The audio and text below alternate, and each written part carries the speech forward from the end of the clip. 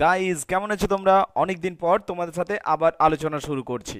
আজকে আমার আলোচ্য বিষয় হলো, কীভাবে আবেদন লেখা যায়, অর্থাৎ অ্যাপ্লিকেশন লিখতে হয় কীভাবে?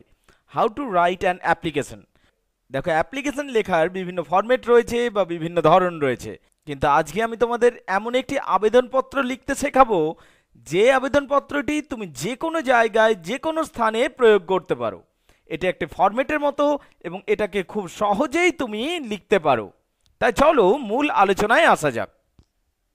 সব থেকে প্রথমে যাকে তুমি অ্যাপ্লিকেশন লিখছো, অর্থাৎ যাকে তুমি আবেদনপত্রটি জমা দেবে, সেই ব্যক্তির নাম লেখো, অর্থাৎ ডেজিগনেটেড অফিসারের নাম লেখো। যদি স্কুলে লিখছো, তাহলে হেডমাস্টারের নাম লেখো। যদি পুলিশ স্টেশনের জন্য লিখছো, তাহলে দ্য ওসি লেখো। যদি ব্যাংকে লিখছো, তাহলে দ্য ম্যানেজার লেখো। এইভাবে যে সংস্থার জন্য তুমি লিখছো, সেই সংস্থার কর্তার নামে আবেদনপত্রটি লেখো। খেয়াল রাখবে, এই আবেদনপত্রটি এমনই একটি আবেদনপত্র হতে যাচ্ছে, যা যে কোনো কাজের ক্ষেত্রে অফিসিয়াল লেটার হিসাবে বা অ্যাপ্লিকেশন হিসাবে কাজে লাগানো যেতে পারে। এটা পুলিশ স্টেশনেই হোক না কেন, বা তোমার কলেজ বা বিশ্ববিদ্যালয়ে হোক না কেন। চলো, এবার মূল জায়গাটাতে আসা যাক। স্যার স্যার মানে মহাশয়। মোস্ট রেসপেক্টফুলি খুব সম্মানের সাথে I want to draw your kind attention to my following appeal most respectfully অর্থাৎ খুব সম্মানের সাথে আই অর্থাৎ আমি ওয়ান টু ড্র ওয়ান মানে চাই টু ড্র আকর্ষণ করতে বা টানতে ইয়োর কাইন্ড অ্যাটেনশন আপনার দয়ালু দৃষ্টি টু মাই ফলোয়িং অ্যাপিল আমার নিচের অনুরোধে। অর্থাৎ কি হলো? মোস্ট রেসপেক্টফুলি খুব সম্মানের সাথে আই আমি ওয়ান্ট চাই to draw your kind attention আপনার দৃষ্টি টানতে। টু মাই ফলোয়িং অ্যাপিল আমার নিচের অনুরোধে। ফলোয়িং মানে নিচের এবং অনুরোধের ইংরাজি হলো appeal most preferably I want to draw your kind attention to my following appeal খুব সম্মানের সাথে আমি আপনার দৃষ্টি টানতে চাই আমার নিচের অনুরোধে। এই অংশে তুমি সম্মান প্রদর্শন করলে। এবং সম্মানের সাথে বললে যে দয়া করে আপনি আমার অনুরোধটা শুনুন। এর পরের অংশে নিজের পরিচয় দাও। এখানে নিজের নাম, পরিচয়, বাবার নাম, কোথায় থাকো, এই সমস্ত জিনিসগুলো লিখতে হবে। আর যদি বিদ্যালয়ের ক্ষেত্রে হয়, নাম, বাবার নাম, কোন ক্লাসে পড়ো, সেকশন, রোল, এই সমস্ত উল্লেখ করে থাকবে। তাই চলো মূল জিনিসে আসা যাক। তোমাদের বোঝানোর জন্য এখানে আমি একটা নাম ধরে নিলাম এবং এটা ধরে তোমরা বুঝে নাও বিষয়টা। I am Ram Roy son of Shyam Roy a resident of Raghunathpur তাঁতিপাড়া ward number তিন এখানে দেখো আমি কি বলছি। আই এম রাম রয় অর্থাৎ আমার নাম হলো Ram Roy son of some রয় শ্যাম রয়ের পুত্র a resident of Raghunathpur resident মানে বাসিন্দা। রঘুনাথপুরের বাসিন্দা। তাঁতিপাড়া অর্থাৎ আমার পাড়ার নাম দিলাম অ্যান্ড ওয়ার্ড নাম্বার থ্রি এবং ওয়ার্ড নাম্বারটাও দিয়ে দিলাম। অর্থাৎ এখানে আমি আমার নিজের নাম, বাবার নাম এবং সম্পূর্ণ ঠিকানা দিলাম। অর্থাৎ প্রথম বাক্যে আমরা সম্মান প্রদর্শন করছি, দ্বিতীয় বাক্যে আমরা নিজের সম্বন্ধে বলছি। অর্থাৎ আবেদনকারী এক কথায় নিজের সম্বন্ধে বলবে, অর্থাৎ নিজের পরিচয় দেবে। এরপরে আমাদের মূল অংশে আসতে হবে। এই তিন নম্বর বাক্যে মূল কথাটি বলো। অনেকে অ্যাপ্লিকেশন বা আবেদনে অনেক কিছু বাড়তি জিনিস লেখেন, ইমপ্রেশন বা প্রভাব ফেলার জন্য। এগুলো কিন্তু ঠিক নয়। তার কারণ অ্যাপ্লিকেশন বা আবেদনে শুধুমাত্র মূল কথাটুকুই লিখতে হয়। তাই অ্যাপ্লিকেশনে আমাদের শুধুমাত্র মূল কথাটুকুই লিখতে হবে। যদি শিক্ষক মহাশয়কে এই আবেদনপত্রটি জমা দেওয়া হচ্ছে ছুটির জন্য, তাহলে তোমাকে লিখতে হবে I want a leave for three days because I am ill অর্থাৎ এখানে তুমি বললে যে তোমার কদিন ছুটি চাই? এবং তুমি কি কারণবশত ছুটি চাইছো?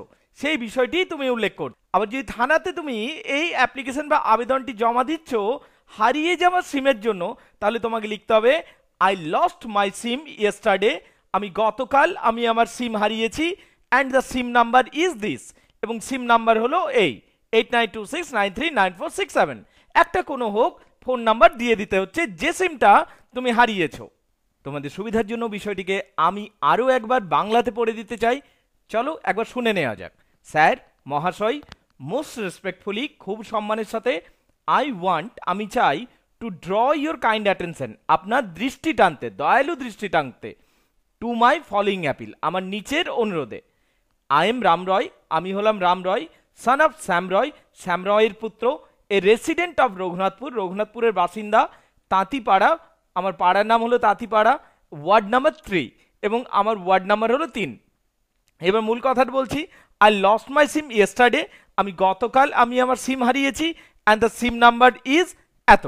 আমার সিম নাম্বারটা হলো এই।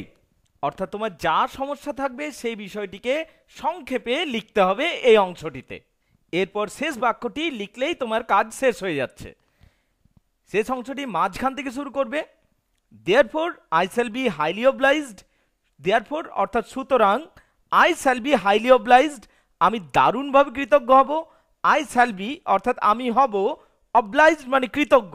আমি দারুণভাবে কৃতজ্ঞ হব।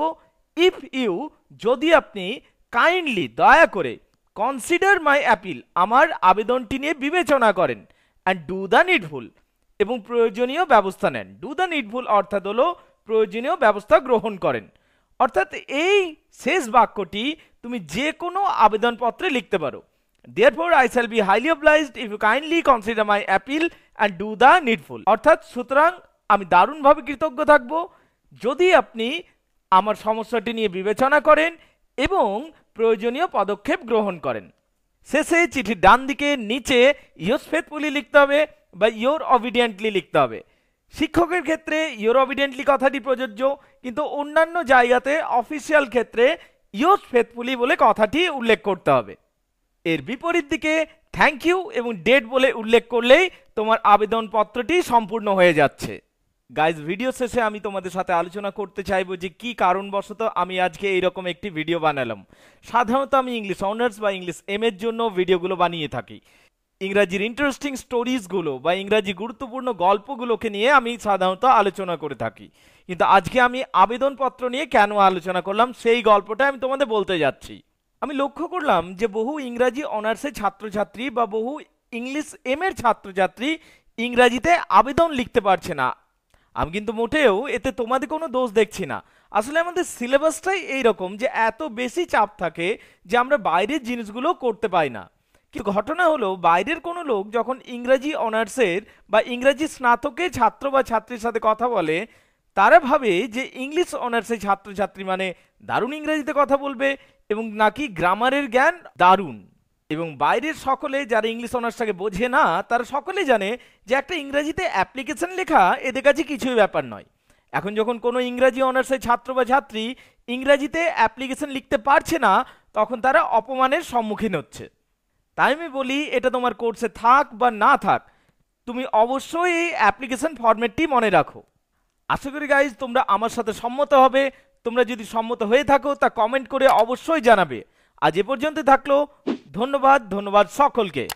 আর হ্যাঁ গাইজ ভিডিওটা লাইক করতে ভুলো না, অবশ্যই লাইক করো। আরেকবার ধন্যবাদ ধন্যবাদ সকলকে।